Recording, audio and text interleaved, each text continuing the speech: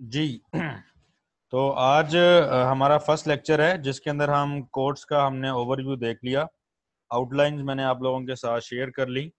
तो सबसे पहले इस चीज़ को समझते हैं कि what is network and system administration तो it's basically the branch of engineering that deals with the management of users and computers ठीक है? अगर यहाँ पर लिखी हुई डेफिनेशन को देखा जाए तो यहाँ पर लिखा हुआ है कि network and system administration is a branch of engineering that concerns the operational management of human computer systems देखें, इसके अंदर अब दो चीज़ें आती हैं कि यूज़र्स को मैनेज करना है हमने और कंप्यूटर्स को मैनेज करना है।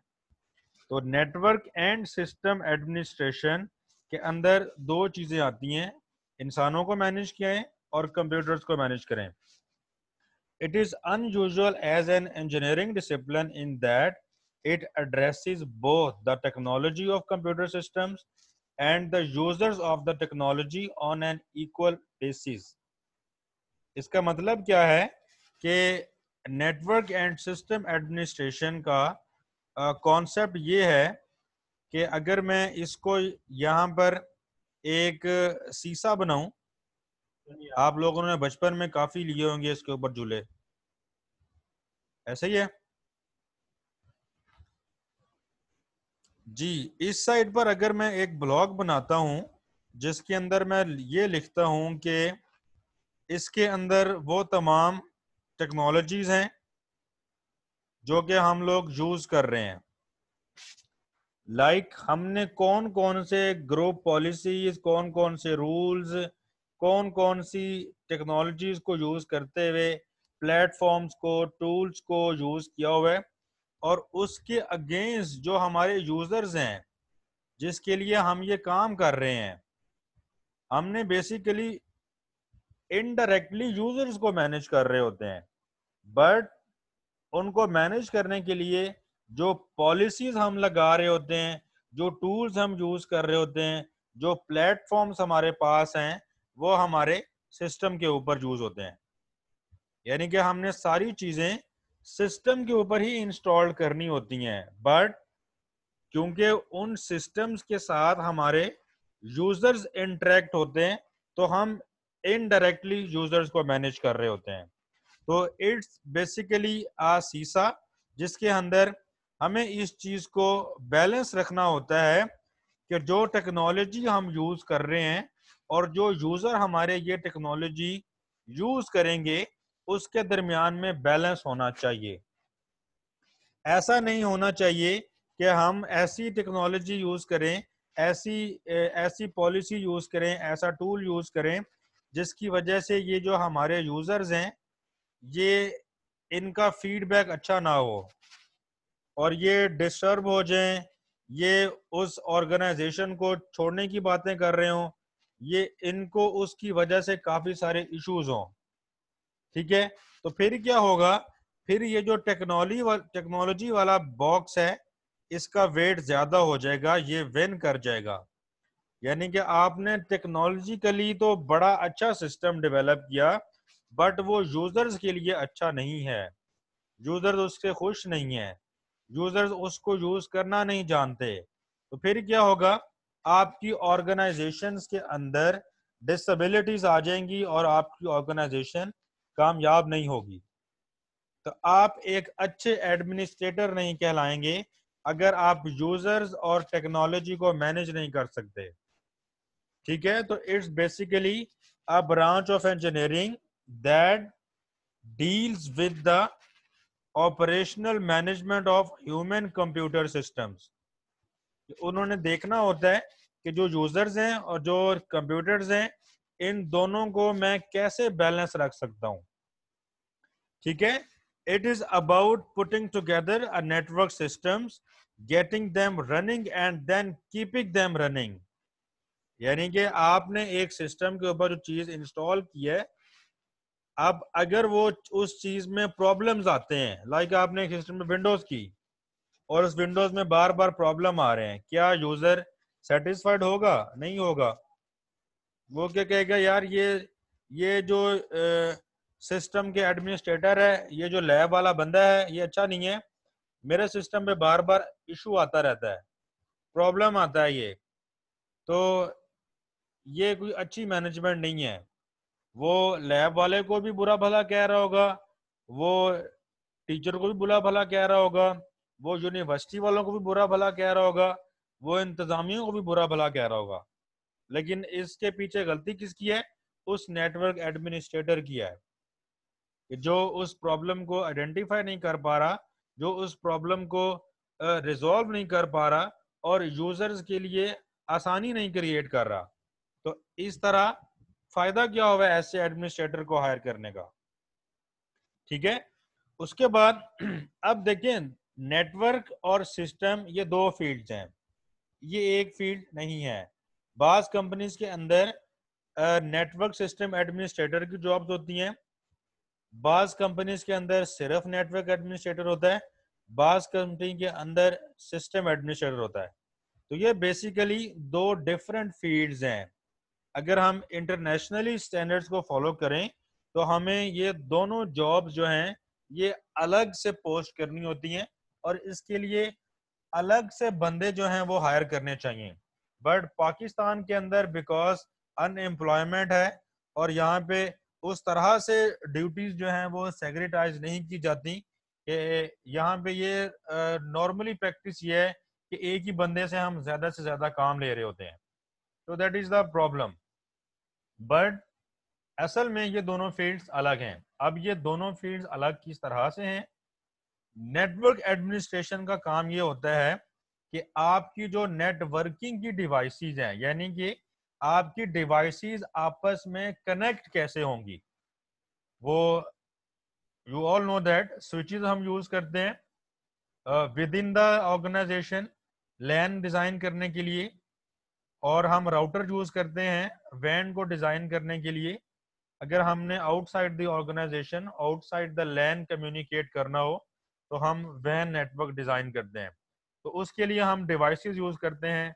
राउटर यूज़ किया जाता है डिफरेंट नेटवर्क्स के दरमियान कम्युनिकेशन के लिए। स्विच हम यूज़ करते हैं। Within a same within a network communication के लिए हम स्विच यूज़ करते हैं। तो अब ये देखें स्विचेस राउटर्स ये यूज़ हो रहे हैं। आपस में डिवाइसेस को कम्युनिकेट करवाने के लिए। तो this is part of network administrator ये नेटवर्क एडमिनिस्ट्रेटर का काम है, वो किस क्वालिटी की, कितनी क्वांटिटी में स्विचेस मंगवा रहा है, वो कितनी क्वांटिटी में राउटर्स मंगवा रहा है, वो आईपी प्लान किस तरह से कर रहा है, किस डिवाइस को कौन सा आईपी असाइन कर रहा है, ये नेटवर्क एडमिनिस्ट्रेटर की रिस्पॉन्सिबिलिटी है। बट सिस्टम एडमिनिस्ट्रेटर की रिस्पॉन्सिबिलिटी क्या है? सिस्टम एडमिनिस्ट्रेटर की रिस्पॉन्सिबिलिटी ये है कि जो कंप्यूटर्स हैं, यानी कि जो क्लाइंट्स मशीन्स हैं, जो आपकी विंडोज़ सेवन मशीन है, चाहे वो विंडोज़ टेन है विंडोज़ एट है, जो ये वाले ऑपरेटिंग सिस्टम है, जो ये वाली मशीन्स हैं, इनको कैसे मैनेज करना है? और इनको मैनेज करने के लिए हम सर्वर डिप्लॉय करते हैं सर्वर के ज़रिए आपके कंप्यूटर्स मैनेज होते हैं। सर्वर के ज़रिए आपके स्विचेस और राउटर्स, इनको मैनेज करने के लिए S N M P tools होते हैं। वो और चीज़ है। एनएमएस यूज़ किया जाता है नेटवर्क मैनेजमेंट सिस्टम्स वो कोई सर्वर नहीं होता। वो बेसिकली एनएमएस टूल होता है। वो आप उसको इंस्टॉल कहाँ पे करते हैं? सर्वर पे। वो सर्वर पे इंस्टॉल्ड होता है, इसलिए नॉर्मली उसको कहा जाता है कि जी, ये भी एक सर्वर है।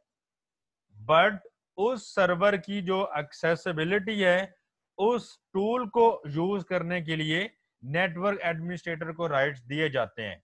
बट क्योंकि वो टूल जो है, वो सर्वर पर इंस्टॉल्ड होता है तो ये सिस्टम एडमिनिस्ट्रेटर की रिस्पॉन्सिबिलिटी है कि वो टूल सही तरह से वर्क करे। नेटवर्क एडमिनिस्ट्रेटर ने उस टूल को यूज़ करके करना क्या है? अपने स्विचेस को देखना है, अपने राउटर्स को देखना है, अपनी नेटवर्किंग डिवाइसेस को उसने देखना है कि उसके अंदर कोई प्रॉब्लम ना आ रहा हो। बट सर्वर का काम क्या है?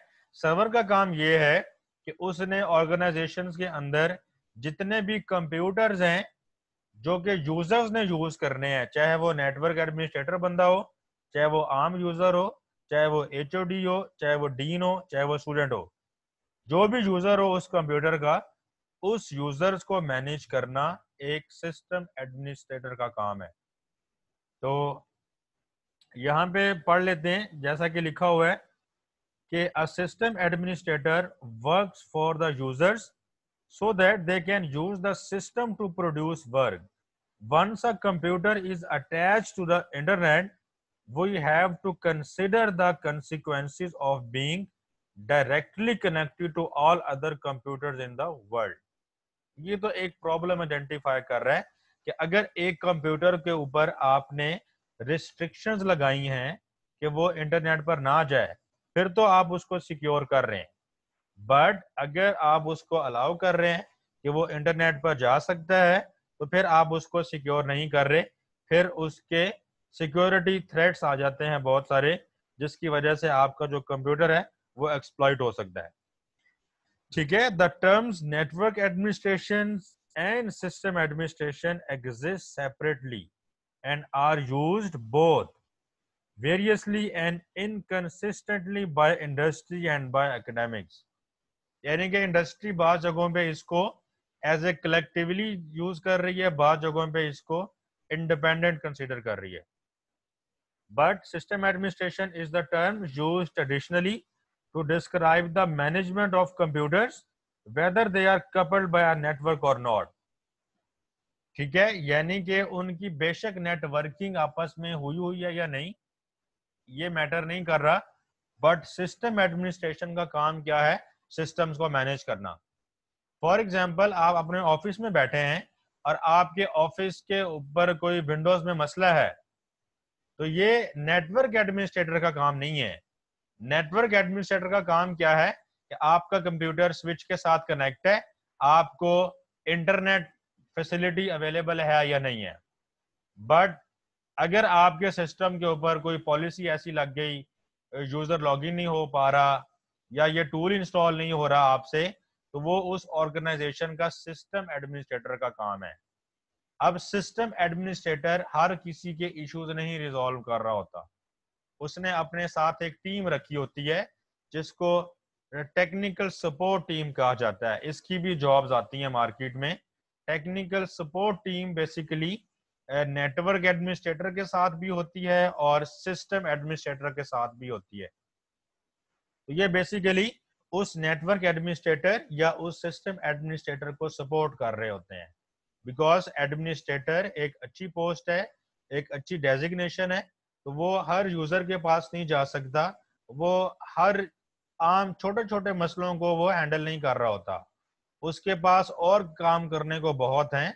वो ऑर्गेनाइजेशन के जो मेन मैनेजमेंट लेवल के टास्क हैं मेन लेवल पे लाइक डायरेक्टरी को मैनेज करना ऑर्गेनाइजेशनल यूनिट्स को मैनेज करना जीपीओज को बनाना कन्फिगर करना डी एच सी पी को देखना, ये बेसिकली एडमिनिस्ट्रेटर लेवल का काम है। बट अगर एक यूज़र जो है लॉग नहीं कर पा रहा, क्या इशू है? ये एक टेक्निकल सपोर्ट बनने का काम है और वो इस इशू को रिजॉल्व करता है।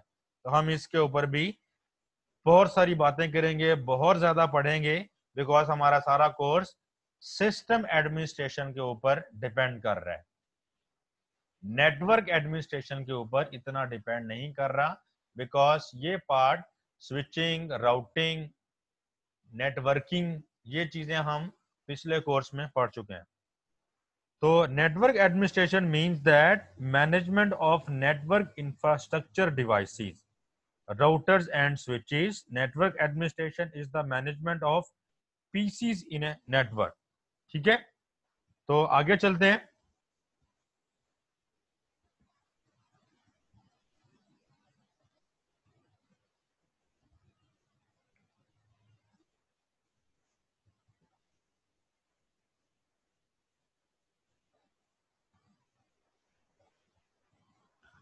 जी उसके बाद what is a system simple C definition लिखी हुई है कि एक सिस्टम क्या होता है? एक सिस्टम जो है आपकी कंप्यूटर भी हो सकता है हम उसको भी सिस्टम कहते हैं। एक कंपनी का जो ओवरऑल इन्वायरमेंट है हम उसको भी कहते हैं ये एक सिस्टम है। ठीक है? जो आपकी वर्क प्लेस है उसको भी हम कह, कहते हैं एक सिस्टम है। तो ये डिफरेंट जगहों पे यूज़ होती है। बट हमने जिस सिस्टम को अंडरस्टैंड करना है that is client system and server system client और सर्वर में सिर्फ़ ऑपरेटिंग सिस्टम का फ़र्क होता है।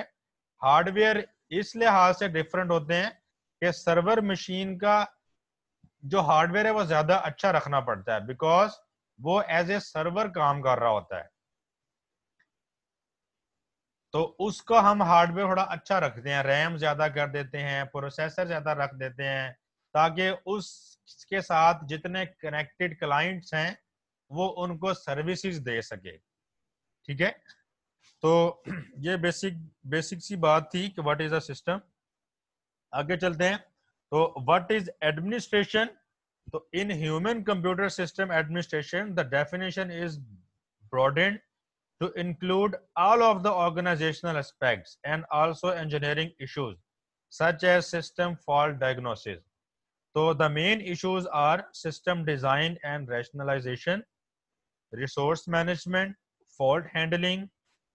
Basically बताना ये चाह रहे हैं कॉन्सेप्ट ये आपने गेट करना है इससे कि आपके ऑर्गेनाइजेशंस के अंदर जो डिफरेंट तरह के सिस्टम्स के ऊपर इश्यूज़ आते हैं। कंप्यूटर्स के ऊपर लाइक सॉफ्टवेयर प्रॉब्लम कर रहा है। सॉफ्टवेयर अब फॉर एग्जांपल सिंपल सा इशू बताता हूँ। आपने किसी कंप्यूटर को जाके आईपी देना है, क्या करते हैं? सिस्टम पे जाते हैं आईपी सेटिंग्स में जाके आईपी देते हैं। अब लेट सपोज़ यही क्वेरी आपको दिन में पंद्रह दफ़ा, बीस दफ़ा करनी पड़े डिफरेंट सिस्टम पे करनी पड़े तो आप एक दिन बाद, दो दिन बाद थक जाएँगे। यार ये क्या मसले हैं? और मुझे याद भी नहीं रहता कि कौन से कंप्यूटर पे कौन सा आईपी देना था। आपको अपनी शीट से देखना पड़ता है अच्छा ये कंप्यूटर नंबर दस है इसको मैंने ये आईपी देना है, ये कंप्यूटर नंबर पंद्रह है, इसको ये आईपी देना है। तो एक ही लैब में आप यही काम करके थक जाएँगे। तो इसका आसान तरीका क्या होता है? हम सर्वर के ऊपर डीएचसीपी रोल ऐड करके डीएचसीपी सर्वर बनाते हैं, ताकि डायनामिकली हर कंप्यूटर को खुद ब खुद आईपी मिल जाए। तो इससे आपकी ज़िंदगी आसान हो जाती है। ठीक है? तो ये एक सिंपल सी मैंने आपको एग्ज़ाम्पल दी कि आप अपने जो रिसोर्सेज हैं उनको किस तरह से मैनेज कर रहे हैं फॉल्ट को किस तरह से हैंडल कर रहे हैं। These are the issues in the organization इनको हम रिजॉल्व uh, करने के लिए डेफिनेटली हमें कुछ ना कोई प्रोसीजर uh, रिक्वायर होता है। Team work is very important because जहाँ भी आप काम कर रहे होते हैं आप टीम में काम कर रहे होते हैं। आप एडमिनिस्ट्रेटर हैं आपके साथ जो असिस्टेंट एडमिनिस्ट्रेटर हैं जो टेक्निकल सपोर्ट के लोग हैं। अगर आप उनके साथ अच्छी टीमिंग डेवलप नहीं करेंगे तो आप अच्छे एडमिनिस्ट्रेटर नहीं है। ठीक है? तो टीमिंग इज़ वेरी इंपॉर्टेंट। इसके अलावा इंपॉर्टेंट चीज़ है एथिकल। तो एथिक्स आपके बहुत इंपॉर्टेंट हैं। किसी भी जगह पे काम करने के कुछ एथिक्स होते हैं। प्रोफेशनल एथिक्स होते हैं। सिस्टम को यूज़ करने के एथिक्स हैं। तो आप एक अगर अच्छे करेक्टर के हामिल शख्स हैं तो डेफिनेटली आपके एथिक्स भी अच्छे होंगे। इसके अलावा एप्रिसिएशन ऑफ़ सिक्योरिटी यानी कि आपकी जो एनवायरनमेंट है, आपने जो काम करना है, वो एक सिक्योर एनवायरनमेंट में करना है। तो कुछ चीज़ें हमें सिक्योर रखनी पड़ती हैं, ताकि आप जो ऑर्गेनाइजेशन के जो गोल्स हैं, उनको अचीव कर सकें। Applying technology in an environment इसका मतलब ये है कि आजकल आपके सामने आप सब कुछ देख रहे हैं कि टेक्नोलॉजी का किस हद तक रोल है।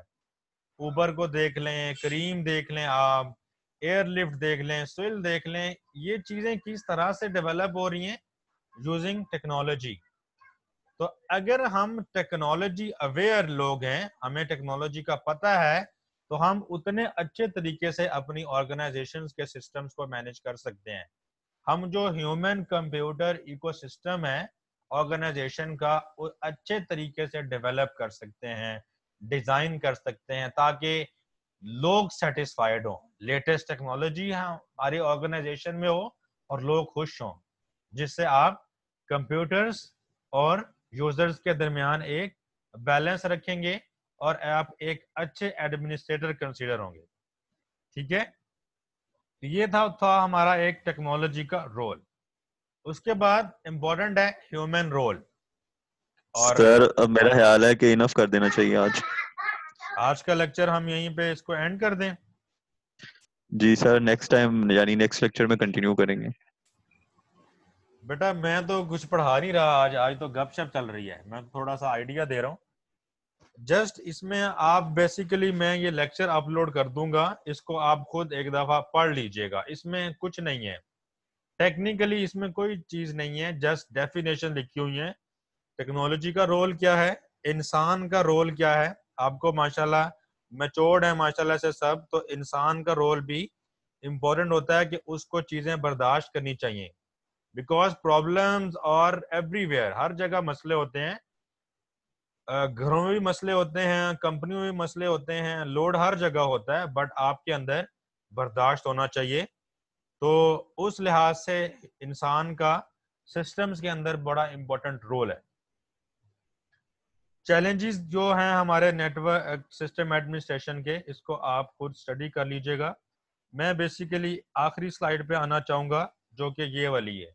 इसके बाद हम इसको एंड करने लगे हैं।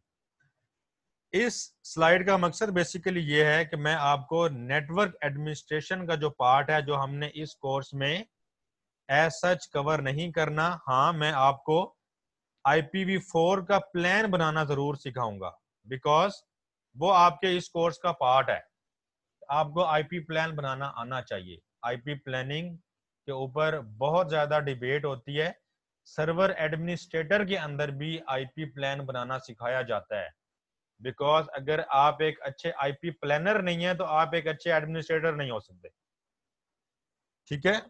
तो नेटवर्क एडमिनिस्ट्रेशन बेसिकली तीन सब डोमेन्स पर कंसिस्ट कर रही है। नेटवर्क प्रोविजनिंग यानी कि इसके अंदर हमारी प्लानिंग और डिज़ाइन आ जाता है कि लाइक हमने फिजिकली नेटवर्क को डिज़ाइन किस तरह से करना है। हमारी फिजिकली टोपोलॉजी क्या होगी? हमने कितने स्विचेस लेने हैं? कितने हमने राउटर्स लेने हैं? फ्लोर के ऊपर कौन कौन से रूम में मैंने कौन कौन सा राउटर किस रूम में लगाना है? कौन सा स्विच मैंने किस रूम में रखना है? This is all type of physical topology stuff ठीक है? और हमने लॉजिकली uh, टोपोलॉजी के अंदर बेसिकली क्या आता है कि आपकी आईपी प्लानिंग किस तरह से है? ठीक है? आप आईपी नेटवर्क्स हम पढ़ेंगे। आईपी प्लान में आपको बनाना सिखाऊँगा। तो आईपी नेटवर्क्स आप किस तरह से तश्कील देते हैं? ये तो बात आती है प्लानिंग और डिज़ाइनिंग की और ये ऑर्गेनाइजेशंस के अंदर जो सबसे मैनेजमेंट लेवल के जो लोग होते हैं, वो इस चीज़ को परफॉर्म कर रहे होते हैं। सेकंड जो पार्ट है हमारे पास नेटवर्क प्रोविजनिंग जो है, ये बेसिकली प्लानिंग एंड डिज़ाइन है और ये एडमिनिस्ट्रेटर लेवल का काम है मैनेजमेंट लेवल का काम है और ये निचले लेवल का काम नहीं है बिकॉज़ उनका इतना एक्सपीरियंस नहीं होता, वो एक टोपोलॉजी डिज़ाइन नहीं कर सकते हैं, ठीक है? तो जो सेकंड डोमेन आती है हमारे पास नेटवर्क ऑपरेशंस की दिस इज़ वेरी इंपॉर्टेंट ये बेसिकली नेटवर्किंग का जो कोर्स है DCN data com common network उसके अंदर हम कवर भी करते हैं ज़्यादा से ज़्यादा कि आपने डिवाइसेस को कॉन्फ़िगर कैसे करना है स्विच को कॉन्फ़िगर कैसे करना है? राउटर को कैसे कॉन्फ़िगर करना है? एसीएल्स कैसे आप डिप्लॉय करते हैं? नेटिंग कैसे परफॉर्म की जाती है? तो ये बेसिकली कन्फिग्रेशन पार्ट है। और कन्फिग्रेशन पार्ट आपकी आती है ऑपरेशंस के अंदर। तो ऑपरेशंस के बाद जो लो लेवल स्टाफ है, वो क्या कर रहा होता है? वो नेटवर्क मेंटेनेंस यानी कि छोटे छोटे जो इश्यूज़ आते हैं लाइक आईपी का इशू आ जाता है डिवाइस पिंग नहीं कर रही, क्या इशू होता है? तो छोटे छोटे यूज़र एंड के इश्यूज़ होते हैं। यूज़र क्या हो सकता है? नेटवर्क कार्ड जो है वो खराब हो गया हो। One two seven zero zero one जो लूप बैक आईपी है, उस पर यूज़र पिंग ना कर पा रहा हो। तो ये छोटे छोटे इश्यूज़ आते हैं। तो इन इश्यूज़ को हमारा जो लो लेवल स्टाफ होता है, जिसको हम टेक्निकल सपोर्ट स्टाफ कहते हैं, उनसे हम नेटवर्क मेंटेनेंस के काम करवाते हैं। और ये बेसिकली हमें फीडबैक देते हैं कि ऑपरेशंस को किस तरह से इम्प्रूव करना है और ऑपरेशंस वाले प्रोविजनिंग को बताते हैं कि आपको नेटवर्क डिज़ाइन में क्या चेंजेस लानी चाहिए। तो बेसिकली ये नेटवर्क एडमिनिस्ट्रेशन है, जो कि बेसिकली नेटवर्किंग से रिलेटेड है। तो आज के लेक्चर को हम यहीं पे ख़त्म करते हैं और इनशाला नेक्स्ट लेक्चर से हम बाकायदा आगाज़ करेंगे। सिस्टम एडमिनिस्ट्रेशन का और इन आपका और मेरा जो साथ है, वो अच्छा रहेगा। इस कोर्स में हम काफ़ी चीज़ें सीखेंगे और आपको फिर मैं वक्तन फवक्तन गाइड भी करता रहूँगा कि आप अपना कैरियर किस तरह से इस फ़ील्ड में परस्यू कर सकते हैं। तो किसी का कोई क्वेश्चन है तो वो आस कर सकते हैं।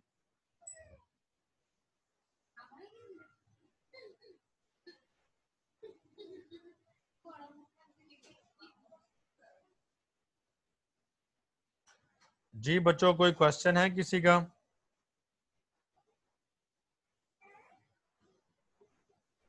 रिकॉर्डेड लेक्चर में नो सर नो सर कोई ऐसा अच्छा मुझे ये बता दें आप लोग माई एलएमएस यूज़ कर रहे हैं जो अभी नया जो एलएमएस यूनिवर्सिटी ने डिज़ाइन किया है?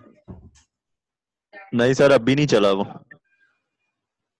ओके यानी कि नेक्स्ट वीक तक चल जाएगा। उम्मीद है सर इंशाल्लाह। चलें, अभी मैं जो लेक्चर है, ये वाला, ये मैं आपके इसी व्हाट्सएप ग्रुप में शेयर कर देता हूँ स्लाइड्स और नेक्स्ट वीक से होप सो कि वो जैसे ही एल एम एस रनिंग में आता है तो मैं ये मटेरियल वहाँ पे भी अपलोड कर दूँगा, ताकि इन फ्यूचर आपको कभी भी पहला लेक्चर डाउनलोड करना हो या आखिरी डाउनलोड करना हो, आपको पूरा lecture material with recorded lectures वो आपको आसानी से मिल सके। तो अभी जो ये सर, है ये भी व्हाट्सएप में तो शेयर करना पॉसिबल नहीं है लेकिन बाद में मैं आपके एल एम एस पे अपलोड कर दूँगा। एज सच कुछ आ, मुश्किल चीज़ें हमने डिस्कस नहीं की।